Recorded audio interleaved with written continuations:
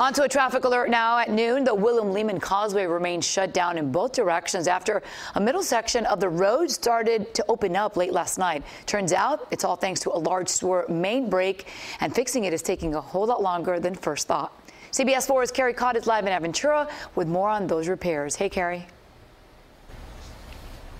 Hey Maribel, well take a look. Aventura police are at the western end of the causeway here along US 1. They've got the road blocked off as you mentioned. I just got off the phone with Miami-Dade Water and Sewer. They tell me that their crews have been working throughout the night and all morning trying to repair this sewer main break.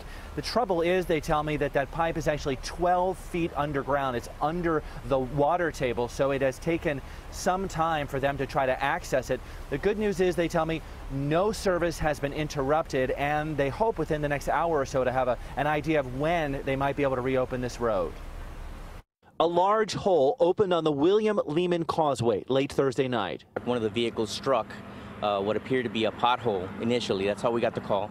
When Aventura police arrived, they quickly realized this was a bigger problem than initially thought. Uh, as the officers arrived, they noticed that the integrity of the road was actually collapsing. As we all know in Florida, we have a lot of sinkholes, so that's a very big critical incident for us. It turns out, police say, a sewer main break appears to be the culprit, and the city quickly shut down the road in both directions to assess the extent of the problem.